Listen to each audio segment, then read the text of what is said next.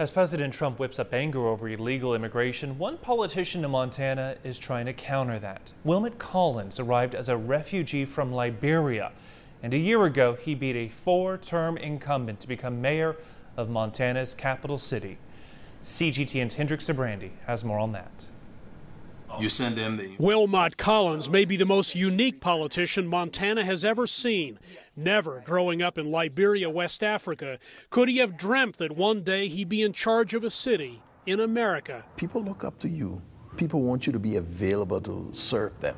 His path to running Helena, Montana, population 31,000, began when he fled civil war in Liberia on a cargo ship a quarter century ago, together with his wife. When we got to the port, the line to get on board the ship was more than a mile long.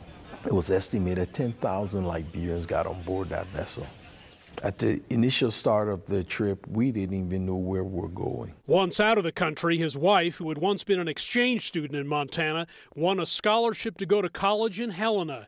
Collins was granted refugee status to join her. Things just took off, never looked back. He joined the U.S. military. This country offered me and my family a second chance at life. The very least I could do is give back. Collins had always wanted to run for public office. Last year, his son challenged him to follow through. His friends backed him up. That's how we started the ball rolling. And before I knew it, I was knee deep in it. He credits years of community involvement for helping him oust Helena's four term incumbent mayor and win a spot on this wall of people who've led the city. People really didn't know who this person was, even though he's not, he wasn't born here, but he's a part of this community. So it played a huge role. It played a really big role in people trusting me. And here I am. The Montana Gold Rush put Helena on the map some 150 years ago. By the late 1800s, it was one of the wealthier cities around. Today, the gold is found in the leaves and funds for city services are at a premium. Which is why, shortly after he took office, Collins asked voters to approve a property tax hike to bolster the Helena Fire Department's budget. We knocked on doors, we did everything, and it passed with 70%.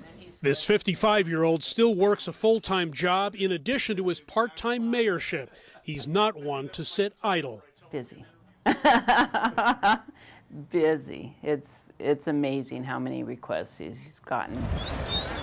At a time when refugees and immigrants have come under criticism in the U.S., in a state, Montana, where less than half of 1% of residents are African American, Collins says personal connections have been key to his success.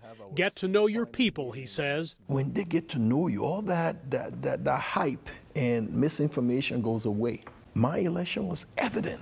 Three years remain in Collins' mayoral term to address homelessness and other pressing issues. As for his political future, that may defy prediction, too. I don't know. I'll have to answer the call of the people. Hendrik Sybrandy, CGTN, Helena, Montana.